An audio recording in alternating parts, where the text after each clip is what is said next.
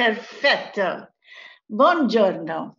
Io ho preparato questo discorso per fare parte di una serie di lezioni sull'ora di pranzo organizzato dal Churches Conservation Trust in Inghilterra.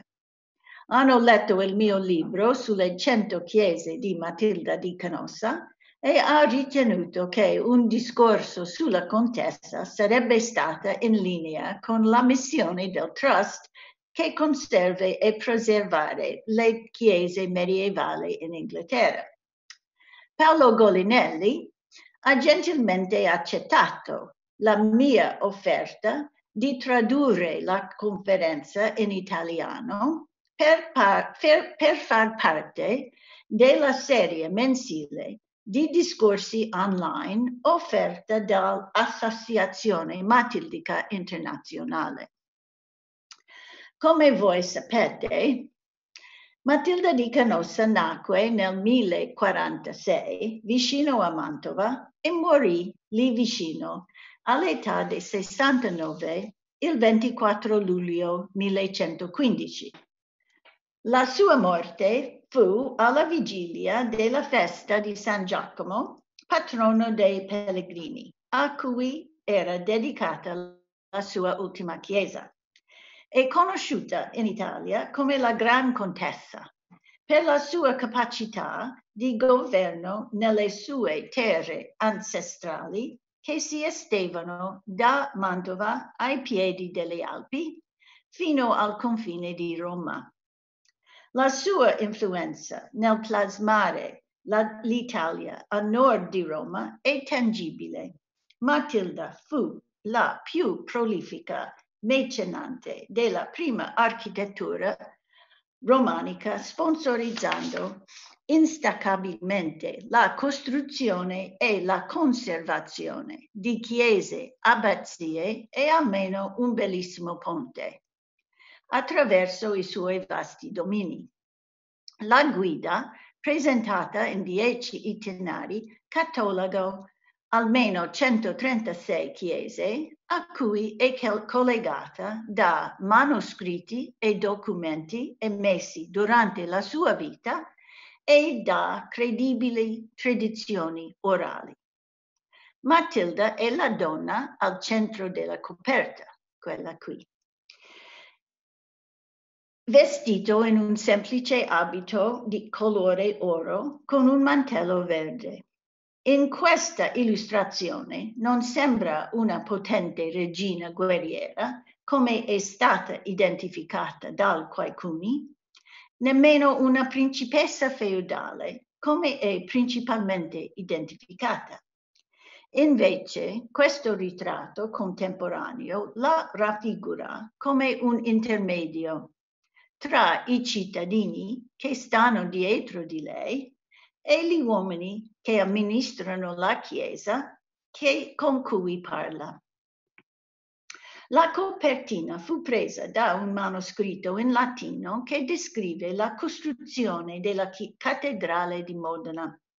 Scritto durante la vita di Matilda tra 1099 e 1106, L'autore registrò gli animati dibattiti dei modanesi mentre lottavano con la costruzione di una nuova chiesa per sostituire la rovinata chiesa del V secolo costruita sopra la tomba del loro primo vescovo.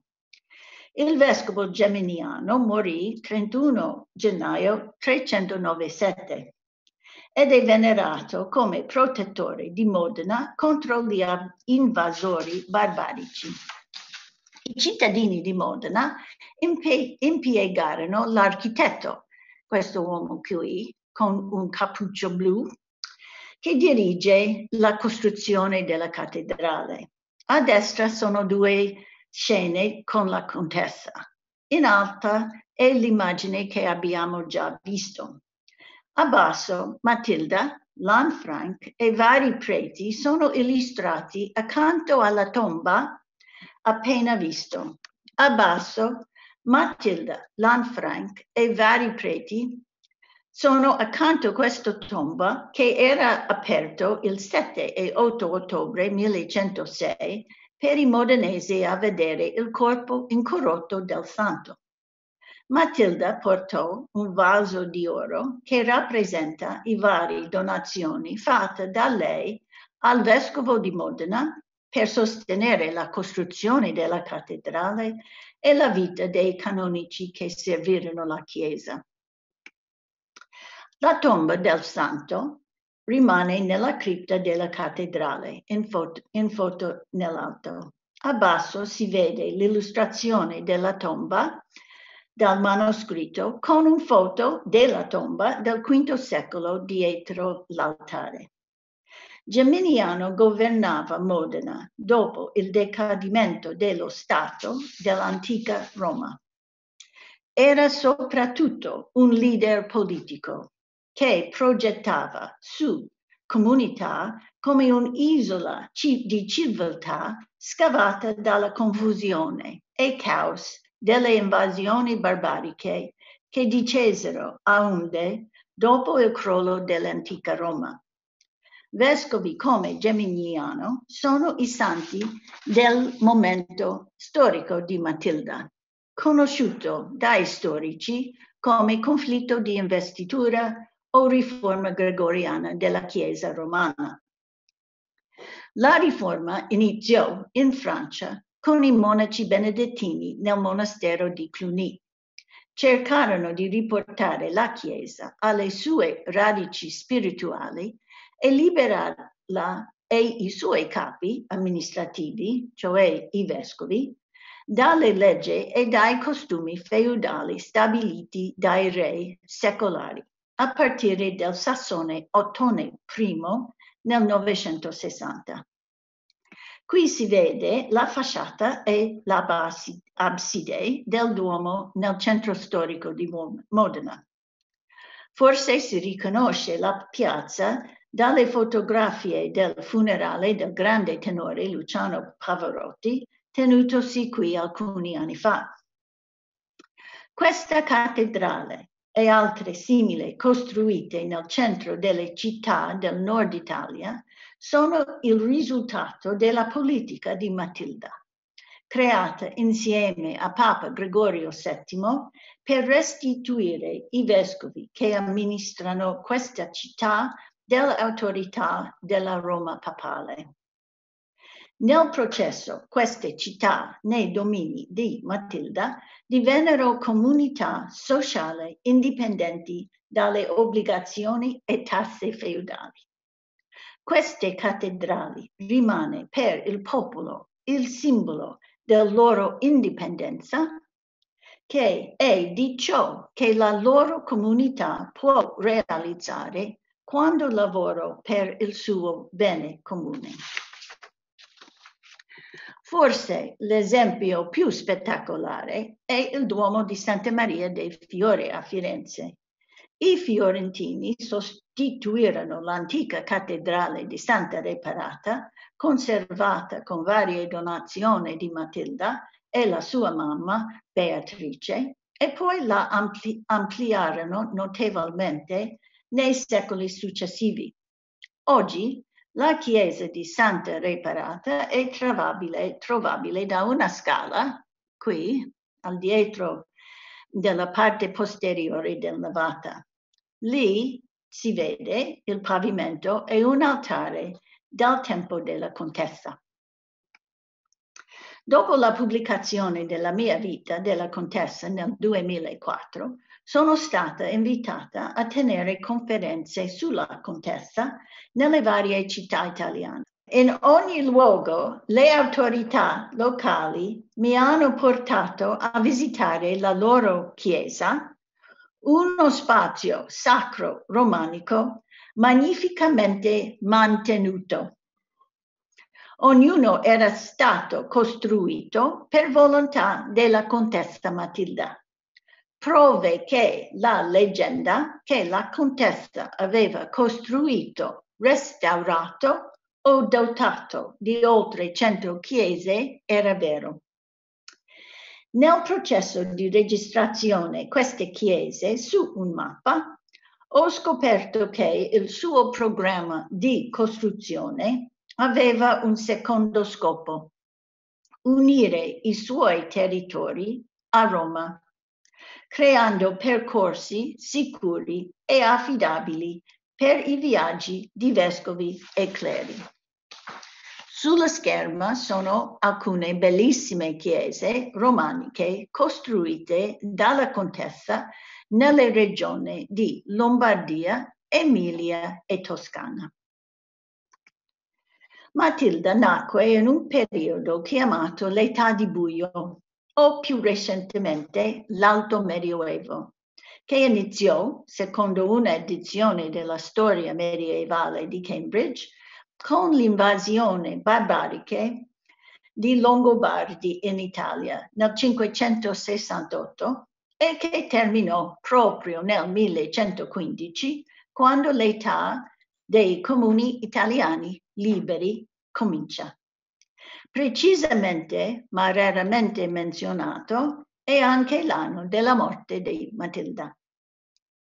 Tra gli elementi distintivi di questa età oscura c'era la disintegrazione delle strade che avevano collegato l'antico Roma ai tratti più remoti dell'impero, compreso Inghilterra con il risultato che le terre agricole ritornano in boschi e paludi non coltivati. Viaggi e scambi commerciali sono diminuiti al aumentare del pericolo e del, delle spese.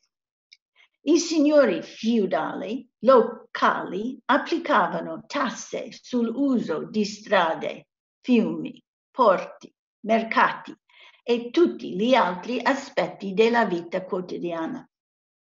Le tasse non andarono alla manutenzione o alla riparazione, ma piuttosto ad uno stile di vita sempre più stravaganti per un numero sempre meno di nobili feudali, fra cui furono anche gli antenati di Matilda. Il suo bisnonno il suo nonno e il suo padre avevano costruito fortificazioni sul colline difendibili per autoprotezione, per controllare il loro territorio e per riscuotere le tasse. Nelle foto si vede le fortezze appenninico di, dei Canossiani. Matilda usò quella rete a suo vantaggio e per la Chiesa. Ha trasformato le fortezze in monasteri presidiati dai monaci. I monaci furono in grado di osservare i cavalieri armati che usavano le rotte e trasmettere tali informazioni.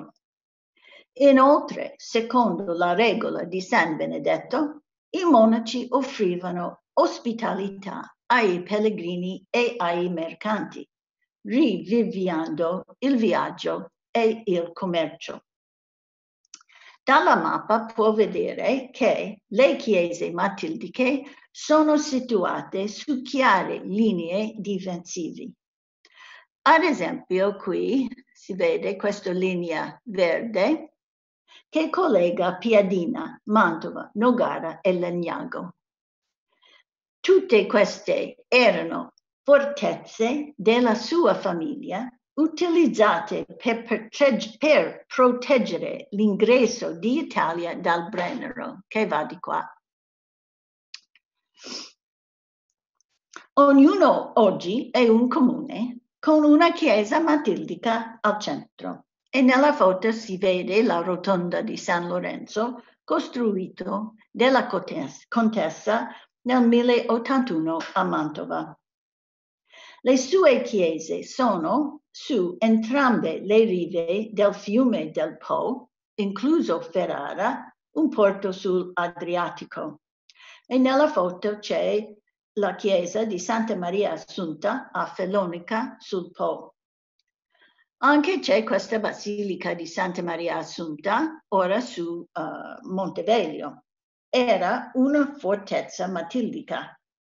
La basilica oggi e anche la pieve di Rubiano sono situati ai ingressi dei passi che attraversano le Appennini. Le sue chiese sono su tutte le uh, rive dell'Arno, compreso il monastero di San Salvatore di Fucecchio, che sorge su un'altura dove la via francigena uh, attraverso l'Arno. Qui è la via francigena, qui, qui è la via Aurelio, qui, e qui è la via Cassia, di qua. E questa linea blu, questo è l'Arno. San Miniato al tedesco si affaccia sulla via, Cass via Cassia tra Pisa e, Francia, e Firenze e le valli di, dell'Arno e dell'Elsa. Le chiese matildiche sono, si trovavano a circa 20 chilometri a parte o un giorno di viaggi, viaggio a piedi. Entro il 1115, l'anno della morte della contessa, il pellegrinaggio e il commercio in Europa rianimarono. Il fatto che Matilda intendesse incoraggiare questo risveglio è dimostrato di questo bellissimo ponte chiamato Ponte del Diavolo, attribuibile alla Matilda circa 1100. Il ponte attraversa il fiume Serchio e collega Luca al passo attraverso l'Appennino che va al castello di, di Canossa e poi a Modena e a Reggio nella pianura padana. Con la costruzione di questo ponte, Matilda ha facilitato la comunicazione e il commercio tra Emilia e Toscana. Non si può sottovalutare i risultati di Matilda nella costruzione di questo ponte. Questo è il primo ponte in pietra costruito sopra un fiume in Italia dalla caduta di antica Roma, cioè almeno 500 anni. A mio avviso fu ispirato dal ponte Fabricius costruito sopra il Tevere da un architetto di antico Roma nell'anno 62. Vedrai un foto di quello ponte in un diapositiva successivo. Anselmo, arcivescovo di Canterbury, 1093 a 1109, riconobbe l'assistenza di Matilda nei suoi viaggi tra Canterbury e Roma. La incontrò alla fine del 1104 e Matilda scrisse una lettera al Papa Pasquale II per conto di Anselmo. Una copia di quella lettera si trova a Lambeth Palace a Londra. Quando l'arcivescovo tornò a Canterbury, inviò un libro di preghiere e meditazioni per ringraziare Matilda per la sua assistenza nel suo viaggio. Il manoscritto dal 1105-1106 è oggi in un monastero benedettino in Austria. L'immagine sul frontespizio mostra Matilda in piedi, rispettosamente davanti l'arcivescovo che in virtù del suo ufficio è seduto sulla sua cattedra. Anche questa volta Matilda non porta alcuna indicazione di titolo feudale o un potere militare.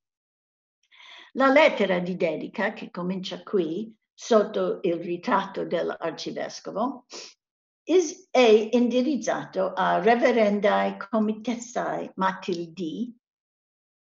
L'arcivescovo scrive di avvertirli di averle inviato queste meditazioni compose per i monaci nel suo monastero e le suggerisce di scegliere quelle che le interessano. La lettera riconosce Matilda come una donna educata e fedele e una partecipante attiva nei circoli dotti della riforma gregoriana. Il buon arcivescovo di Canterbury poteva recarsi a Roma perché la rete di Matilda garantiva un percorso sicuro e affidabile attraverso il nord d'Italia. Oltre i suoi confini ancestrali, la sua rete si collegava a chiese e ospizi affiliati all'abbazia di Cluny, che si estendeva a nord fino a Canterbury.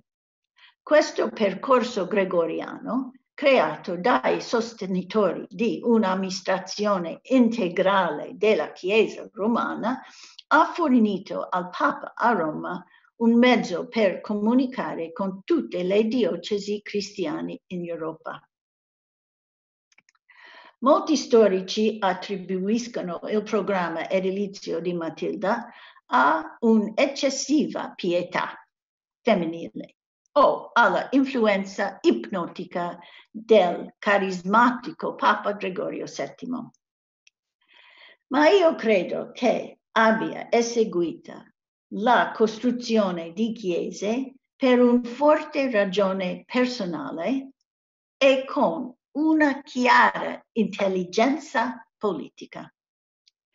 Dato che questo discorso è organizzato intorno a pranzo, ho pensato di discuterne attorno all'antipasto matillico, il formaggio reggiano parmigiano, sopra il quale è insaporito un aceto balsamico, al quale ho aggiunto un rametto di basilico fresco per colore. Si vede il castello di Canossa al centro. Il Reggiano Parmigiano è ancora prodotto nelle montagne intorno a Canossa. Sulla collina accanto a Canossa, fino a qualche anno fa, c'era un meraviglioso casero che faceva questi formaggi stagionati, assolutamente deliziosi. Costoso oggi, è stato anche valutato al tempo di Matilda. Tre forme di formaggio sono menzionati per la prima volta come affitto pagabile all'abbazia di Marola, mostrato a destra, in un documento datato del 13 aprile 1159, per l'uso di alcune terre probabilmente donate da Matilda per fondare questo monastero. L'aceto balsamico è menzionato per la prima volta nella biografia di Matilda, scritta durante la sua vita da un monaco benedettino di nome Donizzone, negli ultimi anni della sua vita. Oggi il suo manoscritto è nelle biblioteche vaticane. Qui vedete una bottiglia venduta usando la firma distintiva della contessa di cui parleremo un po' più tardi. Questi due ritratti sono presi dal manoscritto di Donazzone. La figura imponente all'estremità destra è padre di Matilda, Bonifazio, duca di Toscana e marchese di Mantova. Nel mezzo c'è Matilda, che qui assomiglia in questa raffigurazione di più una principessa feudale. Sono entrambi seduti su un trono con corone coniche di oro ingioiellate e mantelle di velluto rosso, anche esse tempestati di gioielli. Matilda è affa- affiancata dal monaco Donizzone alla sua destra e dal capitano dell'esercito di Matilda, Arduino di Palude, sulla sinistra. Donizzone ha sottolineato, probabilmente su richiesta di Matilda, la sua forte connessione e la sua eredità dai suoi antenati paterni nonostante il fatto che, secondo le leggi saliche del re Corrado II, Enrico III e Enrico IV, solo gli uomini potevano ereditare e amministrare proprietà feudale. Quando nacque Matilda, suo padre era probabilmente l'uomo più ricco nel mondo. La sua dinastia ebbe inizio nel castello di Canossa, cioè, questo, cioè questa parte blu. La famiglia si arricchì acquistando territori sempre più numerosi grazie a sovvenzioni feudali da parte dei re Saliche, l'area delineata in blu, controllando infine l'ingresso in Italia da nord, i porti fluviali sull'Adriatico e Mediterraneo e ogni strada per Roma. I vassalli di Bonifazio sorvegliavano questi mercati, strade e porti fluviali, riscuotendo le tasse che li rendevano benestanti e Bonifazio molto, molto ricco. Pellegrini e viaggiatori hanno riportato che Bonifazio fu duro e crudele. Donizzone ha anche scritto che Bonifazio era, non era timido nel mostrare la propria ricchezza. Nella primavera del 1046, non appena il figlio di Corrado, il nuovo re tedesco Enrico III, arrivò in Italia, chiese a Bonifazio di inviargli il famoso accetto che fu fatto nella fortezza di Canossa. Bonifazio consegnò l'aceto balsamico in un botte di argento appositamente realizzata, trainata da due bui di argento accoppiati da un gioco di argento che fu poi portato in un carro trainato da due bui vivi al re che fu a Piacenza. Il monaco registra che la sontuosa magnificenza di questo dono, così come altri doni altrettanto stravaganti, ha stupito il re tedesco e la sua corte, rendendo il re, secondo Donizone, geloso della ricchezza di, del suo vassello, il padre di Matilda la sua invidia divenne un'ossessione. Nel maggio, uh, 6 maggio 1052, quando Matilda aveva sei anni, Bonifazio fu assassinato mentre era fuori a caccia nelle foreste vicino a Mantova. Nello stesso anno, il fratello maggiore di Matilda, Federico, figlio unico di Bonifazio e unico erede del uh, Canossa, morì misteriosamente. Le loro morti lasciarono solo due donne nella casa di Canossa, Matilda e la sua madre Beatrice di Lorena, all'estremità destra in un ritratto dal manoscritto di Donazone. Nessuna delle due donne aveva alcun diritto della legge feudale salica sulla ricchezza di Bonifazio. Come re e come, come loro più stretto parente maschile, Enrico III prese tutto in un consiglio dei vescovi chiamato a Firenze nel giugno 1055 il re tedesco prese la feude di Bonifazio, dirigò la ricchezza di Bonifazio al suo tesoreria reale ed esiliò in Germania Beatrice e la figlia Matilda che aveva otto anni.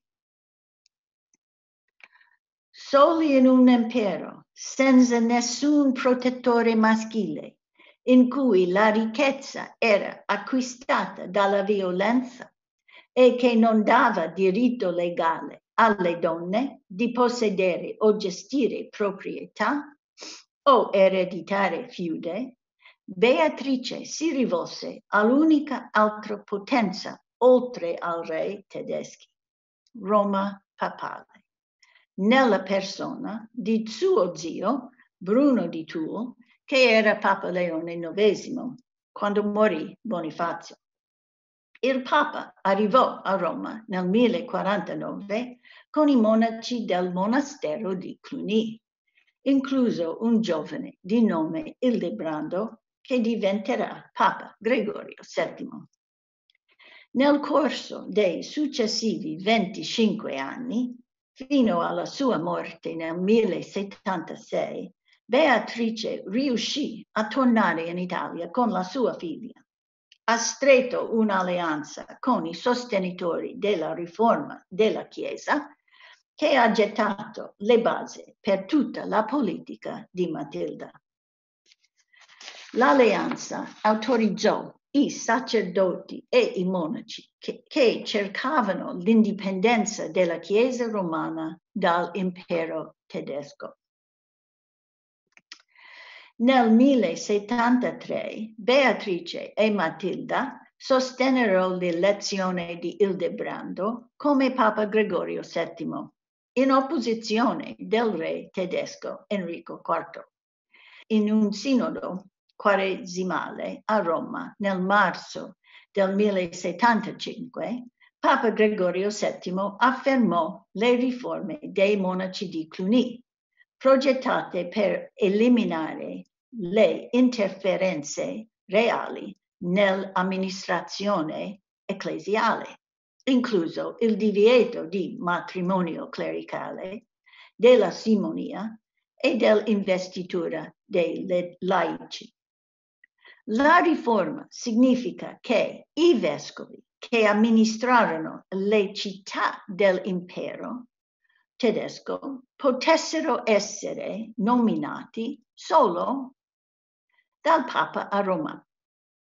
Gregorio annunciò che anche i re, come tutti i mortali, sono responsabili nei confronti di Dio e del suo rappresentante sulla terra, il Papa a Roma intitolato il Dictatus Papae, le 27 dichiarazioni manoscritte ribaltano completamente un ordine feudale che era in vigore da oltre cinque anni.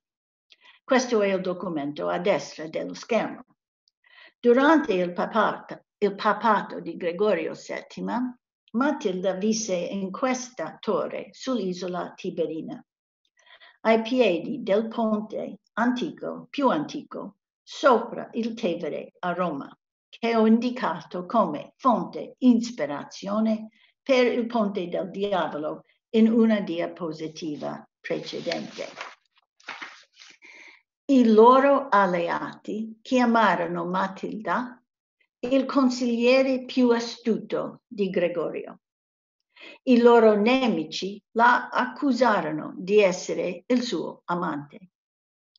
Forse peggio, i loro nemici hanno accusato il Papa di aver seguito il suo consiglio e il consiglio della madre Beatrice. Il cugino di Matilda, Enrico IV il Salico, il cui padre Matilda incolpò per la morte del suo padre, si opposò, oppose fortemente alla dichiarazione di Gregorio VII sul primato di Roma e si rifiutò categoricamente di cedere le sue prerogative ereditarie, inclusa la sua capacità di vendere i sede vescovile o di nominare uomini leali a se stesso per amministrare la città nel suo regno. A gennaio 1076 Enrico IV convocò un consiglio a Worms che chiese al Papa di dimettersi. A febbraio 1076 Papa Gregorio VII lo scomunicò, lo scomunicò sollevando tutti i cristiani dai loro giuramenti feudali di lealtà e proibendo a tutti i cristiani di obbedirgli come re. Anche i re inglesi Guglielmo II e Enrico I si opposero alla dichiarazione del Papa.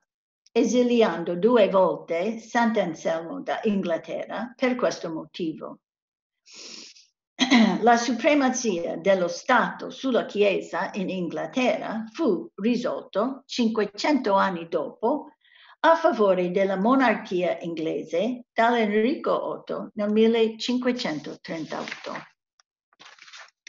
Questi sono alcuni degli eventi che hanno portato al famoso scontro tra Papa Gregorio VII e il re Enrico IV di Germania nel castello di Matilda a Canossa, un luogo isolato, incastonato tra le montagne dell'Appennino a sud di Modena.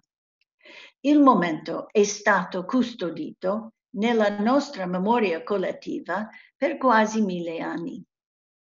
Tutti e tre i protagonisti hanno lasciato il loro resoconto degli eventi, anche se è quello del Papa che la storia ricorda. In una lettera ai duchi tedeschi scritta subito dopo, Gregorio scrisse che tra il 22 e il 24 gennaio 1077 Enrico IV era a piedi nudi nella neve in abito penitenziale davanti alla porta di Canossa, implorando il Papa di perdonarlo per i suoi peccati e restituirlo in comunione con la Chiesa romana. Donizzone ha registrato la versione di Matilda. Il monaco scrisse che Enrico IV si inginocchiò in ginocchio davanti al suo cugino Matilda e la supplicò in presenza del suo padrino abate di Cluny di aiutarlo. In questa miniatura del testo di Donizzone, il re indossa sua corona e tiene la sua sfera dell'autorità reale. Matilda si siede sotto un baldichino indossando un semplice vello. Enrico, allora 26 anni, senza, uh, uh, si ingiochinò davanti a suo cugino, una giovane donna da 28 anni, senza diritti feudali nel suo regno la vedova del suo amico e cavaliere assassinato, una donna accusata dal suo consiglio di duchi e di vescovi di essere la causa delle sue difficoltà attuali. Enrico chiese a Matilda di intercedere per lui con il Papa e lei ha fatto. Il Papa ha perdonato il re il 25 gennaio, il giorno in cui la Chiesa celebra la festa della conversione di San Paolo. Il Papa condizionò il perdono su certe promesse scritte da Enrico IV e il Papa richiestò la garanzia di queste promesse dalla contessa. Lasciando Canossa, Enrico IV rompò immediatamente tutte le promesse fatte al Papa che la contessa aveva garantiti. Avendo ottenuto il suo perdono e ripreso la sua autorità reale, il biografo di Enrico scrisse che il re aveva superato il Papa abilmente impedendo a Gregorio di privar, privarlo del suo diritto reale. Enrico rimase in Italia dopo la sua assoluzione sperando di rapire il Papa e la contessa che, dopo essere stati avvertiti, rimasero nella fortezza inespunibile di Canossa per alcuni mesi fino a quando Enrico finalmente attraversò le Alpi e tornò in Germania. Questa è la ragione intensamente personale per questo programma di costruzione. Credo che Matilda abbia trascorso gli ultimi 40 anni della sua vita a rimuovere intenzionalmente il territorio canossiano, Italia a nord di Roma, dal controllo di Enrico IV, un uomo che l'ha, ha mentito, un uomo che ha infranto le sue promesse al Papa e il figlio dell'uomo che Matilda ha incolpato per la morte di suo padre. Donatone scrisse, Matilda lasciò quindi la parte del re e diede tutti i suoi beni a San Pietro, che deteneva le chiavi come divino portiere, rendendolo il suo erede e lei l'erede di Pietro. Ha fatto questa donazione due volte. Dopo aver lasciato Canossa, Matilda e il Papa trascorsero circa sei mesi viaggiando attraverso i suoi territori e visitando le città e i monasteri per avvisare della loro nuova alleanza. Arrivato a Roma nell'autunno del 1077, Donatone scrisse che Matilda fece la sua donazione al palazzo del Laterano nella presenza delle principali famiglie di Roma. Fece di nuovo la donazione nel novembre 1102 a Canossa dopo aver sconfitto l'esercito di Enrico IV e installato uomini fedeli alle riforme gregoriane nelle maggiore parte dei diocesi delle sue territori ancestrali. Canossa è ricordato perché fu forse l'unica volta nella storia in cui l'uomo che controllava l'esercizio l'esercito più potente del mondo, è stato costretto a inginocchiarsi davanti a un uomo che ha derivato la sua autorità da un, di, un Dio invisibile.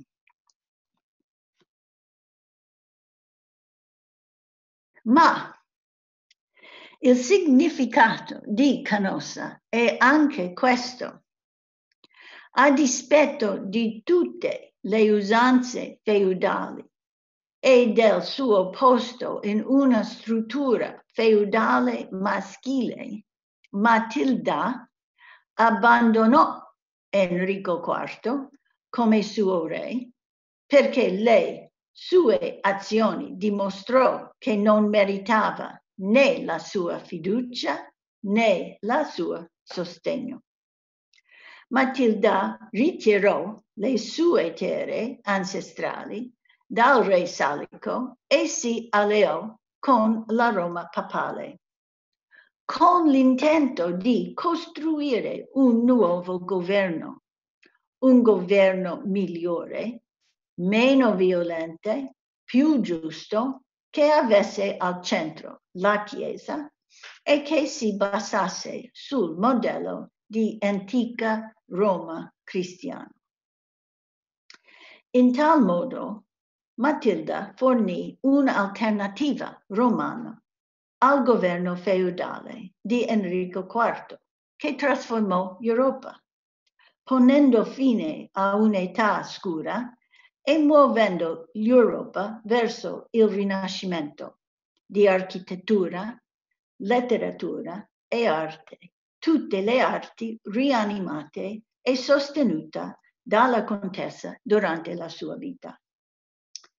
Matilda ha realizzato questa trasformazione fisicamente costruendo monasteri e ripristinando chiese lungo ogni fiume, strada e valico montano nei territori di Bonifazio, tranne Spoleto dove non è stato mai registrata. Questo è l'argomento di questo discorso. Matilde compì questo trasferimento spiritualmente, assicurando che gli uomini fedeli alla Roma papale e non al re tedesco fossero installati come vescovi nelle comunità nei suoi domini. Questa è la controversia sull'investitura che è più studiata dagli storici moderni.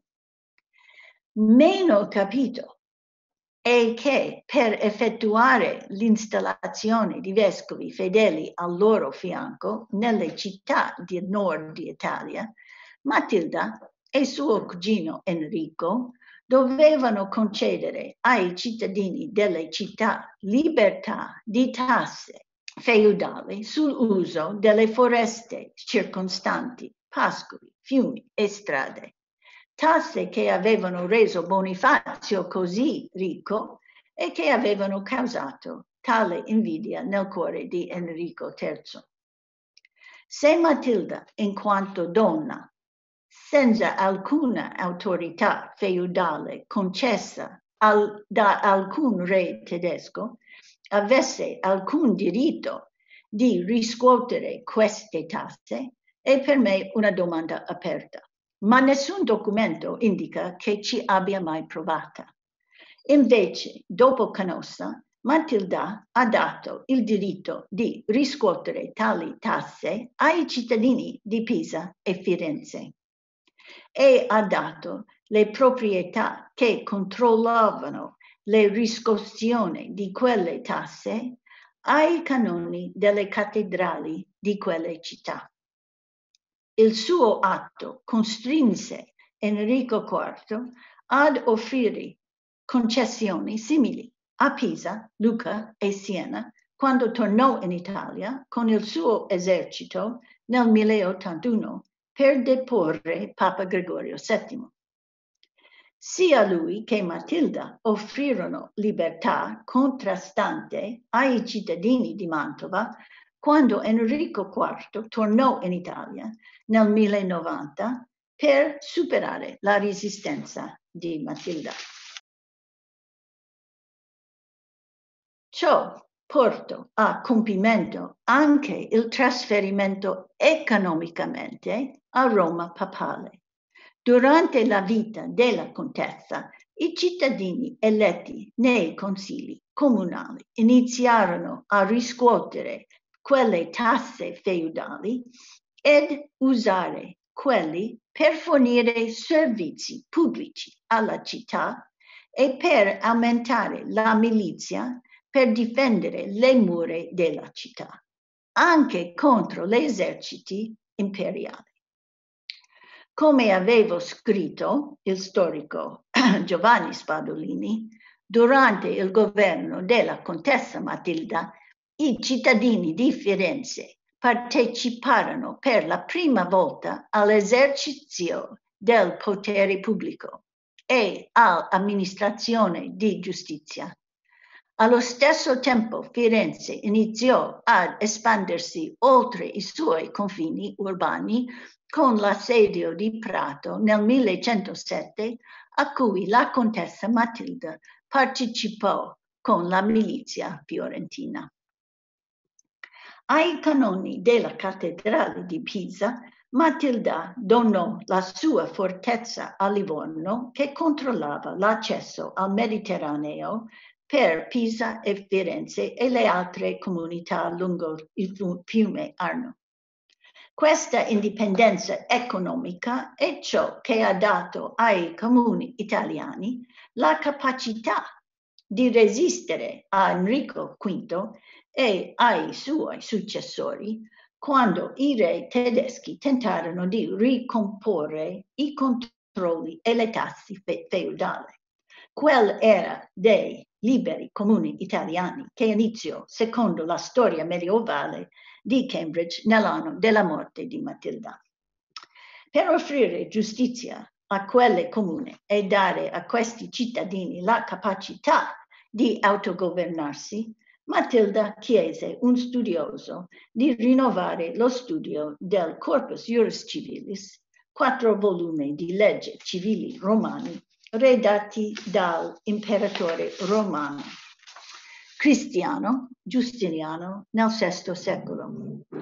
Chiamato in luce della legge dal medievista Mark Bloch, gli studenti di Ingegneries stabilirono le università di Bologna, Parigi e Oxford e fornirono uomini addestrati nella logica della legge per amministrare le città. Primo del 1150, un monaco di nome Grazian, un toscano che visse e insegnò nel monastero di San Felice a Bologna, compilò un libro di diritto canonico che incorporava il corpus juris civilis di Giustiniano. Il suo lavoro ha fornito una base per amministrazione di una chiesa romana indipendente. La legge di Giustiniano forniva anche un argomento legale a sostegno delle azioni di Matilda.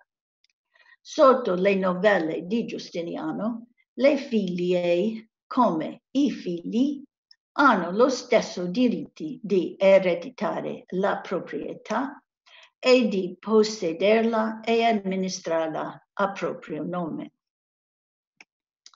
Matilda annunciò il suo trasferimento di fedeltà a Roma papale con ogni documento che lei emessi negli ultimi 40 anni della sua vita. Nelle sue prime donazioni dopo Canossa nel 1078, Matilda iniziava a firmare il suo nome in grassetto maiuscolo all'interno di una croce designata a mano. Non fa affidamento a suoi titoli feudali. Ella rivendica la sua eredità ancestrale per la Chiesa romana per grazia di Dio che ha resa quella che era. Confronto questo, questo uh, firma con la firma minuscoli croce anonime con cui sua madre e Matilda firmarono un placito dopo un'udienza pochi anni prima. Puoi vedere la confidenza che la sua alleanza con la Chiesa romana le ha dato. Alla sua morte Matilda fu sepolto nel monastero di San Benedetto Po che era fondato dal suo nonno nel 1007 e al quale Matilda fece molte donazioni, soprattutto negli ultimi 15 anni della sua vita. Matilda fu sepolta nella cappella dedicata a Santa Maria. La chiesa fu distrutta da Enrico IV nel suo assedio del 1091 e fu ricostruita dalla Matilda dopo aver sconfitto il re a Canossa nell'ottobre 1092. Il suo monumento, questo pavimento a mosaico, è indicativa della stima e del rispetto con cui era stata tenuta durante la sua vita.